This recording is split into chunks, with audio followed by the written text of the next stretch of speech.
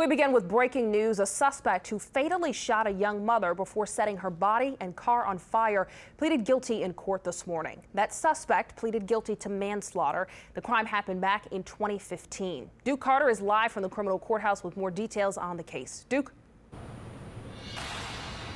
Good afternoon, Sheba. Yes, 33-year-old Theon Sampson pleaded guilty to a lesser charge. As you mentioned, he was charged with second-degree murder, but he pled guilty to manslaughter, guilty of second-degree kidnapping, obstruction of justice, and solicitation for murder in connection with the death of 31-year-old Lindsay Nichols. Now, Sampson pretty much avoided a scheduled September 10th trial for second-degree murder, which might have gotten him a lifetime prison sentence. And, of course, this is, again, in connection with the death of Lindsay Nichols. Now, criminal district judge Robin Pittman sentenced Sampson to the maximum of 40 years in state prison without probation, parole, or a suspension of that sentence. Sampson was also sentenced to 20 years with the Department of Corrections for the solicitation of, of murder for Lindsay Nichols. Now, again, this goes back to the summer of 2015. Sampson at that time was charged with second degree murder in connection with the death of 31 year old Lindsay Nichols. Her body was found inside the trunk of a car that was set on fire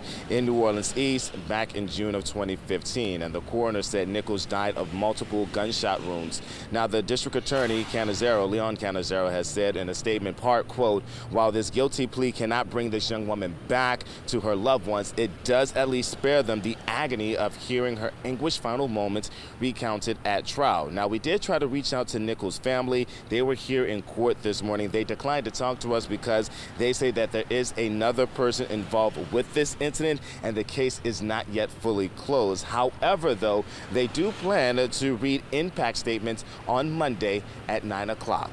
That's the story for now. Reporting live here in front of Orleans Parish Criminal Courthouse, Duke Carter, Eyewitness News. Thank you very much, Duke. I'm sure this was a difficult day for her family, but hopefully this gets them one step closer to some closure.